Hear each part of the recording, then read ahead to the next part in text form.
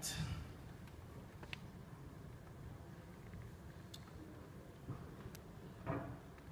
So, somebody give me a name of a virtual machine that I can create. Anybody? Hmm? Ken. Ten? Ken. Pen. Ken. Oh, Ken. Ken. As in Werneburg. Ken Werneburg, Okay.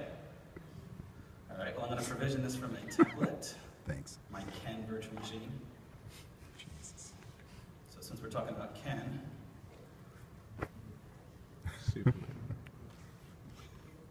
All right, so I'm going through the wizard, I'm provisioning it, and I, I don't know what storage to put it on. All my data stores, they kind of look the same. I'm the, the administrator that doesn't know much about the storage. Let me see what I've got here.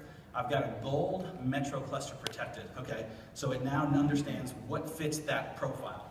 Well, I found one data store that fits it, but I was told that this is going to need to be SRM and Metro cluster protected. So this is going to get a copy of it added to a data store that's already being replicated over to my failover site. So as you can see, it now chose a different data store that meets that, uh, that check. So now I've got this DS3. So I'll put it on DS3.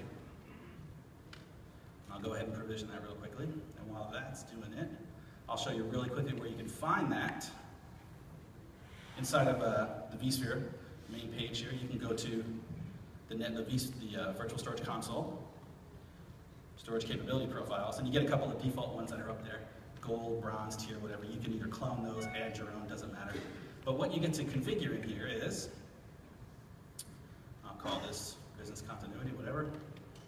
Okay, so I can choose my availability type, I can choose my disaster recovery type, my performance, whether I want to use Flash Cache, the disk type. I can incorporate some of that storage QoS I was telling you about. I can uh, decide which protocols I want to use. I can go ahead and decide whether or not th these are going to be deduplicated, whether it's got auto-grow, and so tons of storage capability provisioned in a storage capability profile. And then I can go back into my rules and profiles here.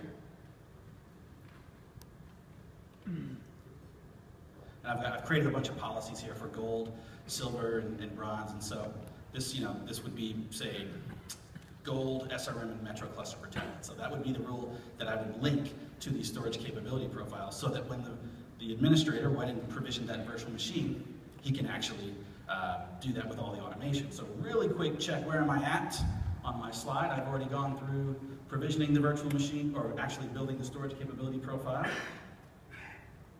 if this thing works here. Come back to me. Alright, that slide doesn't work. All right, so yeah, now that all I need to do now is actually do the affinity groups, the protection group, and the uh, uh, adding the protection group and then protect testing the virtual machine. So I'm going to do that right now by going into DRS. Let's see. Pete, stop! What the? Wow, it's Power CLI, man. That's right. Uh, hi, Power CLI man. Pete, what are you doing? Well, I'm in the middle of a demo, and I'm actually getting ready to add some stuff to an affinity group. How you doing? I, what the? Yeah, but you... It's done. Yeah, well, it's not done just yet. I just created this new vent VM for Ken, and I'm going to go ahead and do that quickly. Uh, and It's done. Oh, look at that! It is in my DRS rules. How did that happen? Through the power of automation! Really? Yes, really. Wow. Uh, that's great. Well, then just hold on a minute. I want to talk to you.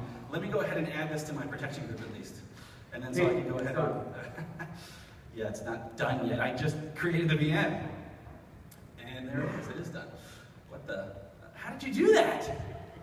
So, Pete, last night, while you were waiting for Southwest to finally get you here, your coworkers went into the demo environment and they did a little searching on the internet. And what they found was a series of Power CLI scripts leveraging the new capabilities that shipped in 5.5 Update 2, where we can now automate SRM.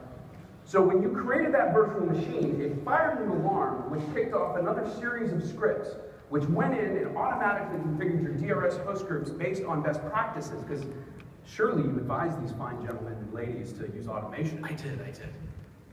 Once that was completed, that went in through the new available SRM API, added your new virtual machine to the correct policy group, and then kicked off a test to make sure that it worked. As a matter of fact, you should check your email. Did it work? there it is. It worked. That's pretty awesome. Me, I feel a disturbance in the force. Another session needs me. Someone is doing a demo with a mouse. I must go. Wait, wait, don't leave. Hold on. I wanted to ask you a question, but this won't get back here. Gotta go. Well, thank you. and- He's using the mouse thank you for right now. How can we find out more? Done. You are awesome. you look a lot fatter in person.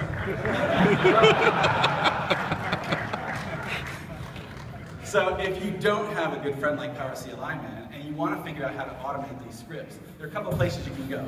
You can go to vmKen.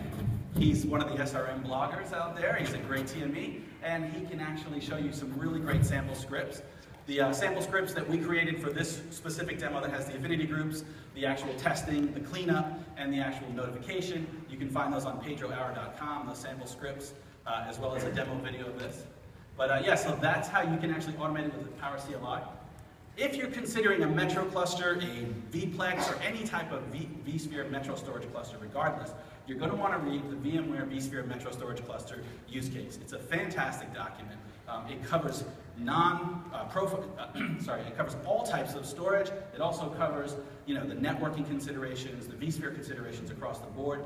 You're also going to want to